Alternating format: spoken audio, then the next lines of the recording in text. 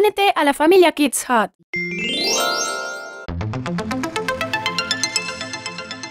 Nunca digas una mentira.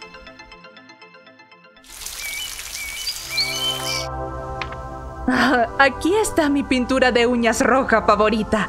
Esta irá perfecta con mi outfit. Me ducharé primero y me prepararé.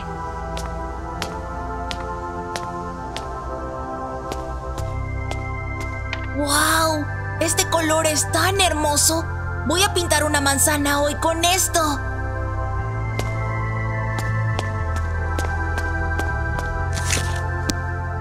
Mis amigos se alegrarán mucho de ver mi cuadro.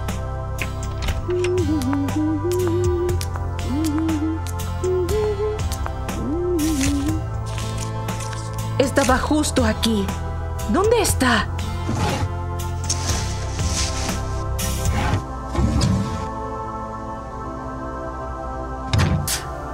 ¿Cómo puedo extraviar mi pintura de uñas favorita? ¿Tofu?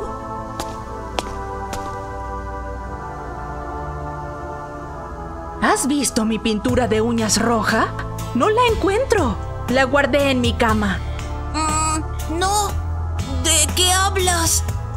Estaba en la sala completando mi tarea de arte. No tengo ni idea de tu pintura de uñas. Hmm. Ya que me mintió, le daré una lección. ¿Dónde está mi cuadro? ¿Cómo se lo enseñaré a mis amigos y profesores? Tal vez Dios me castigó por robar la pintura de uñas de tía. Pobre Tofu, no sabía que mintió y me lastimó por su alegría.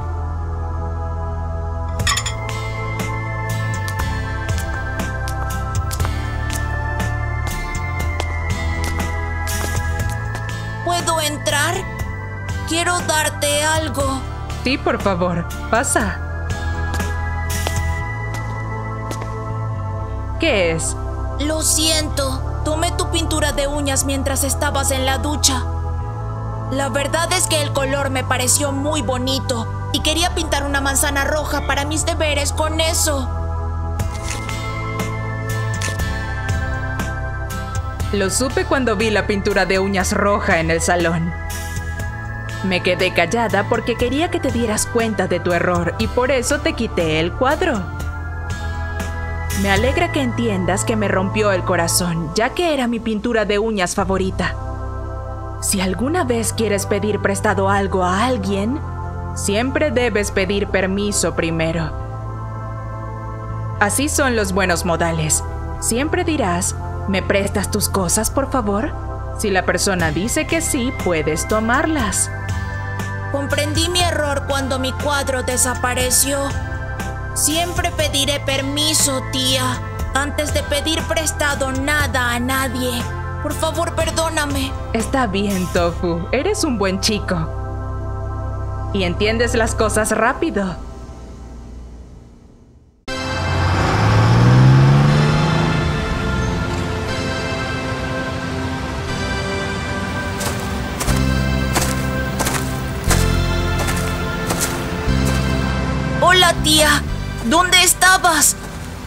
Todo el mundo se ha ido.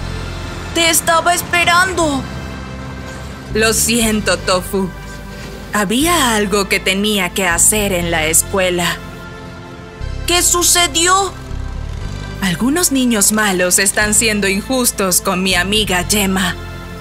He descubierto que han planeado engañarla para que haga todo el trabajo y llevarse el mérito. Oh, eso es muy malo. ¿Qué hará Gemma ahora? Oh, bueno, afortunadamente, Gemma es una chica inteligente. Ella es como la gallinita roja. ¿Qué? ¿Acabas de llamar gallina a Gemma? Oh, Tofu, ¿no has escuchado el cuento de la gallinita roja? No, pero suena muy interesante. Dime, tía, Dime, por favor. Está bien.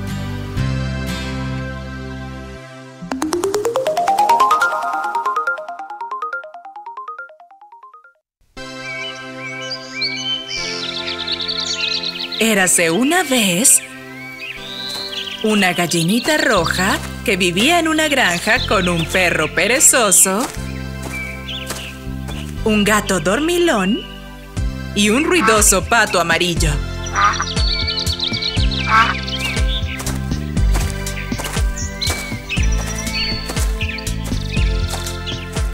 Hola chicos, miren, he encontrado semillas. Vamos a plantarlas. ¿Quién me ayudará? Yo no. Yo no. Yo no. Así que la gallinita roja se fue y plantó las semillas ella sola.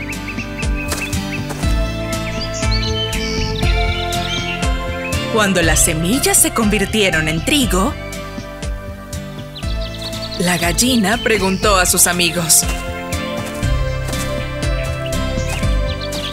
Las semillas han crecido.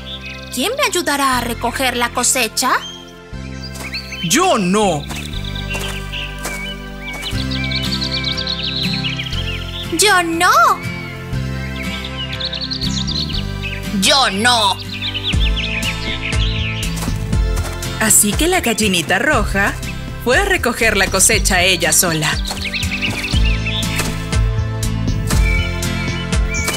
Había que llevar el trigo al molino y molerlo para hacer la harina.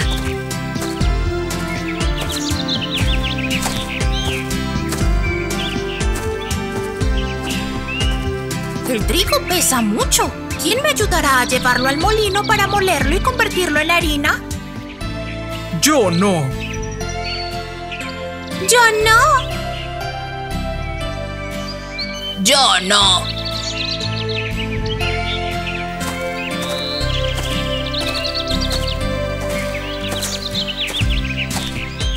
Así que la gallinita roja llevó sola el pesado trigo hasta el molino harinero.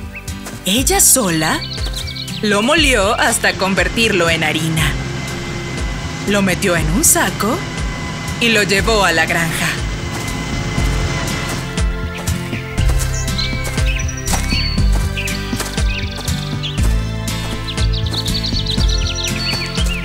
Amigos, estoy muy cansada. ¿Quién me ayuda a hacer el pan? Yo no. Yo no. Yo no.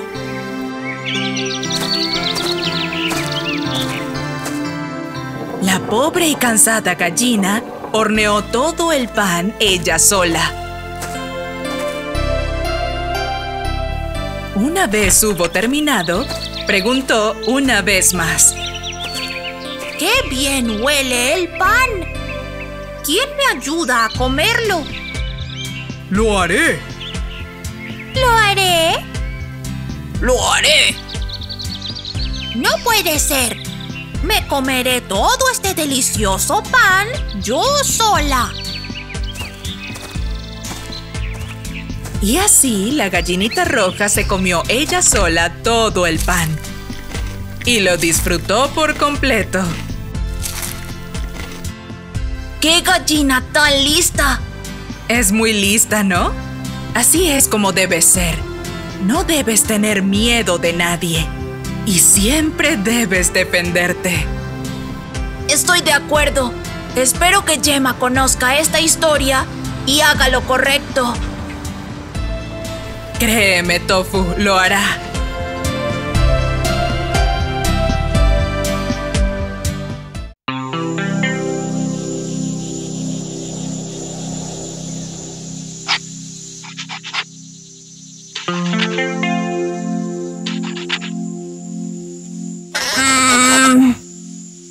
Pasó, Tofu?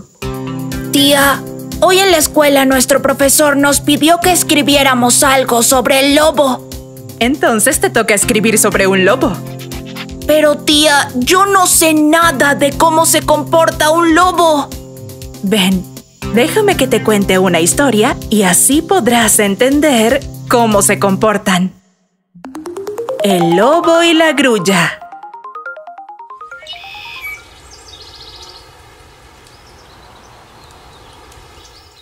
Día, un lobo hambriento se estaba comiendo a su presa.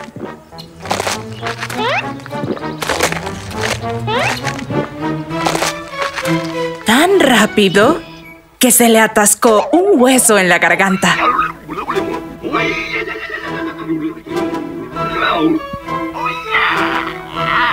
Corrió por el bosque aullando de dolor.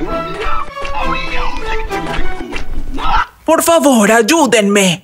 Les recompensaré generosamente. A cualquiera que me quite el hueso de la garganta.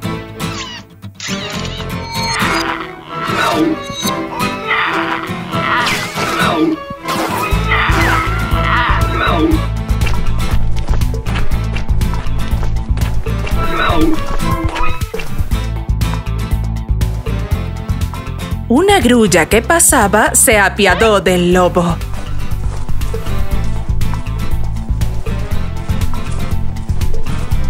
Aunque la tarea fuera peligrosa,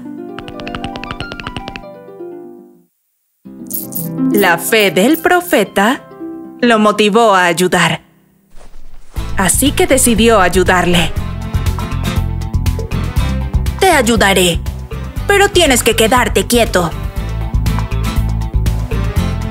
Miraré en tu garganta y luego te quitaré el hueso.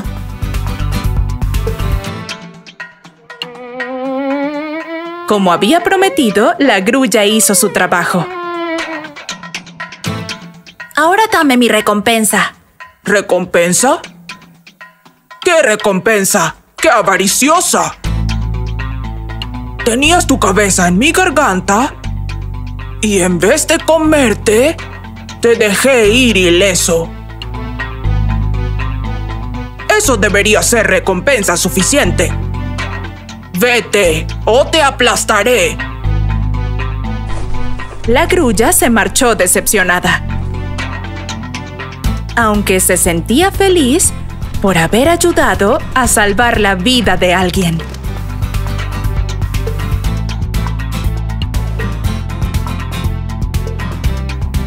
¿Qué has entendido de esta historia? Que no se puede confiar en las artimañas de un lobo. Tofu inteligente. ¿Y ahora serías capaz de escribir sobre el lobo? Sí, tía.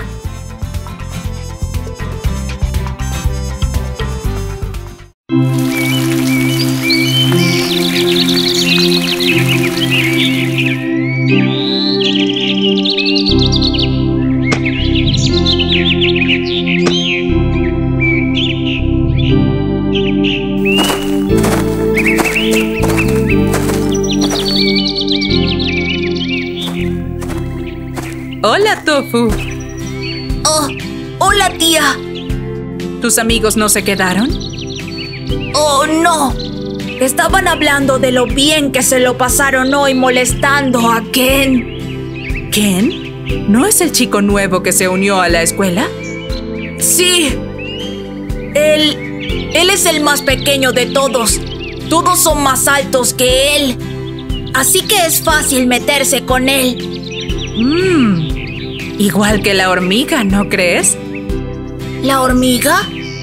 Sí.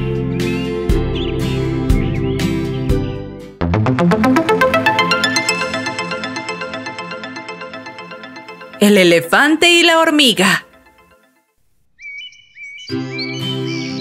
Érase una vez un enorme elefante en la selva.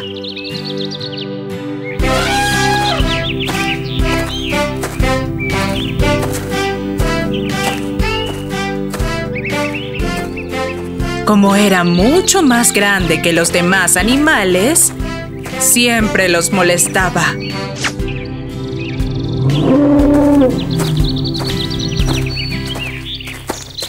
En la misma selva vivía una familia de hormigas.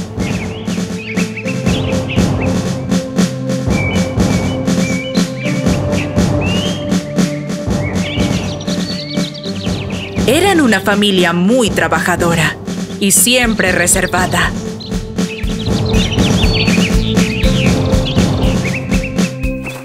De día iban a recoger comida.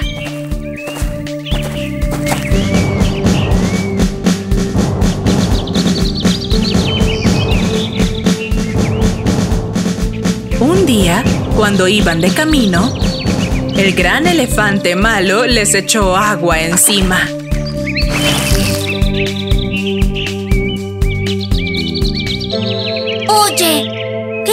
Rayos te pasa? ¿Por qué sigues molestando a los demás? Oh, cállate, diminuta hormiga. Una palabra más de ti y te pasaré por encima y te mataré. La hormiguita no tuvo elección. Se cayó y siguió su camino.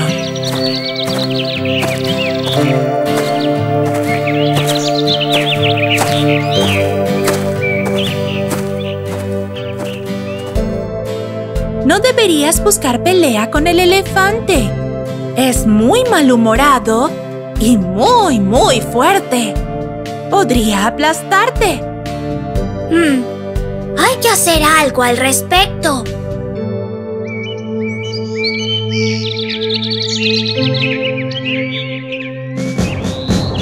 Al día siguiente, cuando las hormigas iban a trabajar,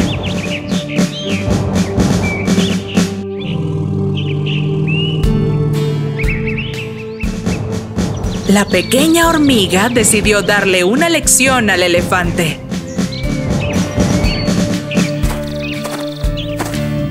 Se subió tranquilamente al elefante y se dirigió a la trompa del elefante. Y entró en ella. Una vez dentro, empezó a morder al elefante. ¡Oh! ¡Eso duele!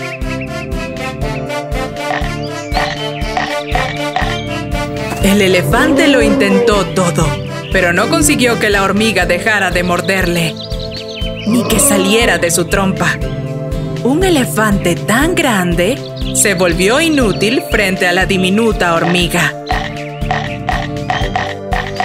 Por favor, detente. ¡Ah! ¡Detente ahora!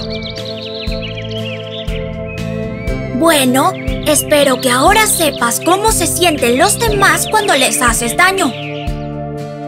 Sí, entiendo. Por favor, para ahora. Muy bien, entonces. Y así la hormiga dejó de morder al elefante y salió de su trompa. Lo siento. He comprendido lo mal que he hecho sentir a los demás. Prometo no volver a hacerlo nunca más.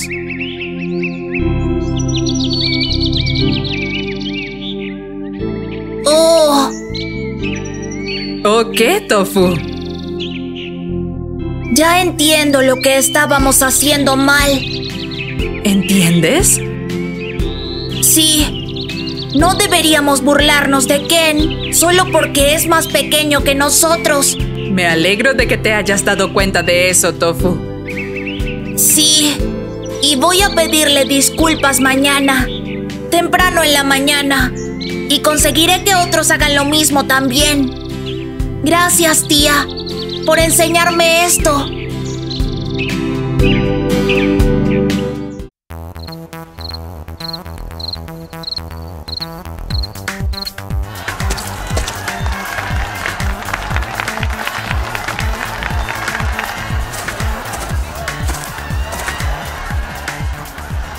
Hola, Tofu. ¿Vamos a jugar? Hola. Um, en realidad, mis amigos me están esperando.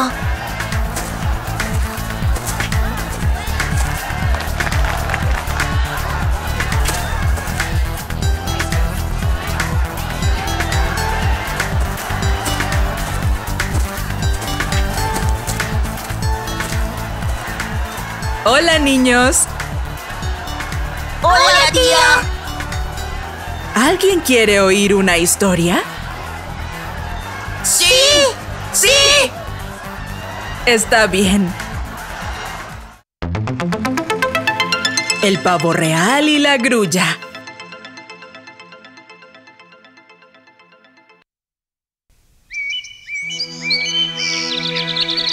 Había una vez un pavo real realmente hermoso y sabía que era hermoso.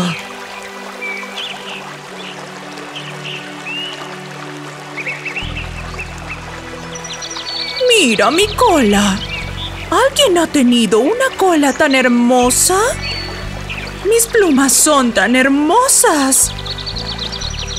A todos los animales les disgustaba que el pavo real se comportara así. Pero no le importaba.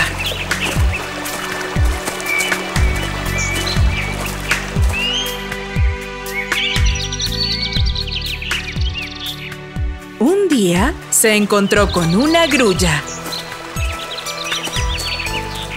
Hola, grulla. Hola. ¿Has visto mis plumas y mi cola? ¿No son preciosas? Sí, lo son. Estoy de acuerdo. Es la mejor. A diferencia de tu pálida cola, tan incolora y aburrida. Yo, en cambio, parezco un rey. Sí, puede ser. Pero ¿pueden tus hermosas plumas ayudarte a volar como yo puedo? En lo alto del cielo, entre las nubes y las estrellas, lo suficientemente alto como para ver la belleza de la Tierra? Creo que no. Quédate aquí, cerca del suelo, como un gallo cualquiera. El pavo real no tenía nada que decir a la grulla. Ya no se sentía tan orgullosa de sus plumas como antes. Y se dio cuenta de que la vida era algo más que estar guapa.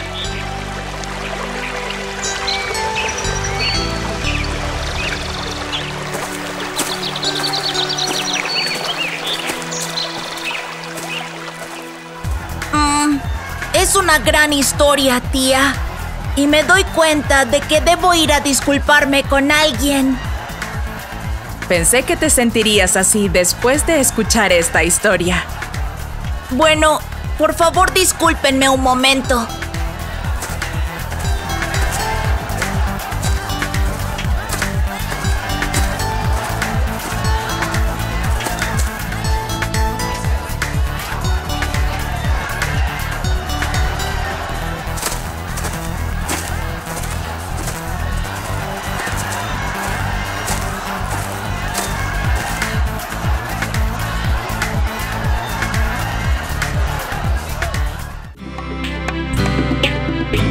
Tus rimas y cuentos favoritos y más, únete a la familia Kids Hut. Suscríbete aquí.